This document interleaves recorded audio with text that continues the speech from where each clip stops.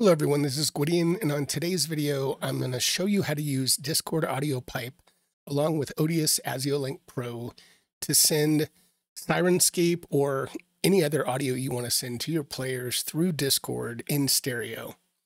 Now, if you haven't watched my initial video on ASIO-Link Pro, please watch that first, and I will link it in the video here so that you can open that first because this will make a lot more sense if you go there first because I will breeze through some of the initial aspects that I describe in a lot more detail in that video.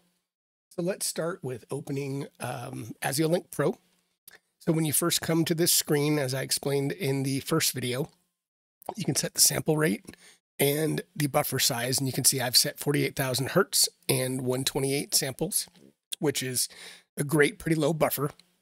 As far as channels in and out, in is more if you're using a DAW or something that you're sending, say, your microphone into first and then out. We're not doing that. So we don't even need to touch this.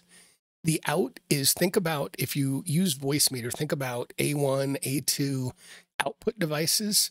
So certainly you're going to need two channels, a one and two for your kind of your headphones or whatever you want to listen to. I'm going to set six so that we can have a couple of extra items because I want to route some audio into Discord audio pipe.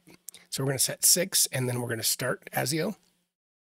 So again, um, uh, ASIO Link Pro installs 16 individual virtual audio inputs. So that's what all these are one, two, one, two. These are all left and right for 16 different inputs it shows you the linking to begin with. So I'm going to get rid of this so we can start from scratch.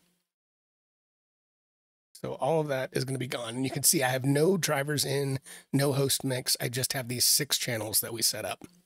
So I'm going to pull in, if I open up my control panel, I'll drag it over from my other screen. Okay. So as a reminder, my playback devices, you'll have 16 of these. I disabled a bunch of them so it cleans up my um, sound panel, but I changed the name from the default, which would be something like um, just speakers five, speakers two. So I changed this to zero one desktop, zero two Discord, which is the output from Discord that I want to hear Syrinscape and then RPG sounds. So these zero one two three four are going to correspond to these here. So my first thing I want to do is I want to route sound so I can hear it. So one and two are going to be the main outputs. So if I open ASIO control panel, I've only set up this ASIO4ALL with Realtek audio. So I have my headset plugged into my soundboard, and that's the only Realtek audio device I have. So that's my main output. Think about it like A1 for Discord. Okay, so what that means is I'm only using these two to hear sound. So what I want to do if I want to hear desktop sounds is I'm going to left click and drag one and two. So that's the left and right of my desktop sounds. This will be Discord. So I want to hear the output of Discord. So I want to drag those down. And then this will be Syrinscape. Now in this video, what I'm going to show you is in this scenario, I'm only going to send Syrinscape to my players. So I'm going to say for now, I don't want them to hear desktop sounds, but I want to hear it. But I do want them to hear Syrinscape. So these one and two, so this is my third input device. So this is Syrinscape. So what I'm going to do is pull these two down into a separate mix. Because for now, I don't want to hear it twice, so I don't need to pull Syrinscape in. So I hear it and then out but I do need to send it somewhere and then back into Discord.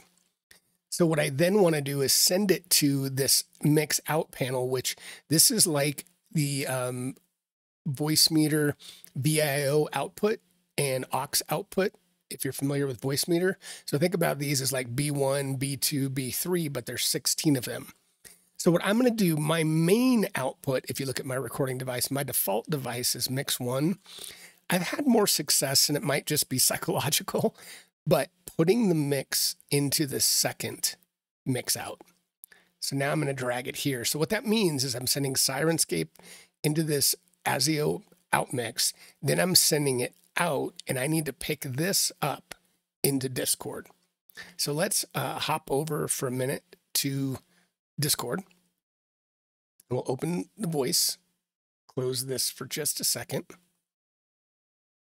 So you can see my Yeti mic is going directly into Discord, which is how I always do it. The output of Discord is going to this zero two ASIO driver. So what that means, if I close this again and open my panel, that means that basically it's coming through these two channels, right? If you look at my playback device, it's coming through this Discord right here. So what I'm basically going to do is I'm going to send the output of Syrinscape into the mix out to this output, which is mix two. So mix two, and then I'm going to pipe that in using Discord audio pipe into uh, Discord. So I've already got Discord audio pipe installed. So let me click on it. And again, this assumes you know a bit about Discord audio pipe, but I'll link to that video too if you if you need to have that um, and understand how to install it. But this allows you to play sound in stereo, which is super important because if you just connected using another instance in Discord, it'll be in mono. So now I'm logged in GWT RPG Sounds. So I'm going to look for my Mix 2 output. So that's this channel again and I'm going to put it into my Gwydion server and PF2 one shots. Okay, so now if we go back to Discord, you're going to see it in there. So it shows up in there. All right. And so via the output, let's see if this, um, if you hear it. Now, what I'm going to do first is actually, I want you to hear Discord, sorry, Syrinscape um, as it, as it is naturally, as I hear it. So First, I want you to hear it and just play a little bit so you know how it sounds without um, going through Discord. So this is Battle Begins, and that's straight, you're hearing it straight from my um, Syrinscape input. So that's a little bit of music. Let's stop that. And for a minute, I'm going to close this. Let's do a couple one shots and think about how this sounds. Force missile.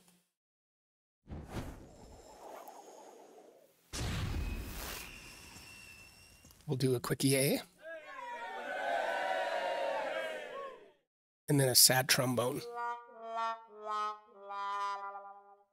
So again, that was all directly um, as you heard it from Syrinscape. So now what I want to do is I'm going to pull this up again. And I'm going to turn off the direct output from Syrinscape, Make sure that Discord is on. And now what I'm going to do is play some of that same sound. And every once in a while, it doesn't pick up right away. So let's see if it does. Okay, so now you're hearing it.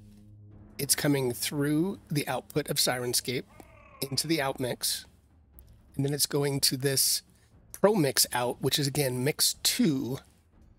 I know this gets a little confusing. And then I'm hearing it because I'm hearing the output of Discord, these two channels are mapped to my headset.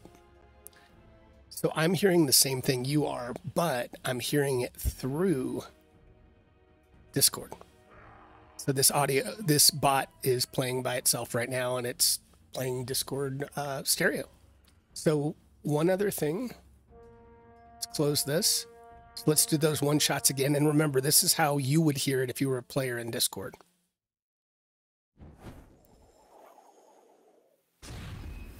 That's the force missile. And then the sad trombone. Again, that's all straight out of uh, Discord and how you, how my players would hear it if I was piping this in for them. So that's it. Um, I'll also post a link to Discord Audio Pipe and how to install that. But hopefully you can see the power of this program, how easy it is. It's very little latency great quality, and and I feel like it's a bit more stable for me at least so far than Voicemeeter, and pretty simple to set up. So uh, until next time, uh, feel free to find me on my Discord and Guilded channels if you have questions. But I hope this video was helpful for you, and if it was, please go ahead and hit the like. I'd love to get more people to learn about this wonderful software. See you next time.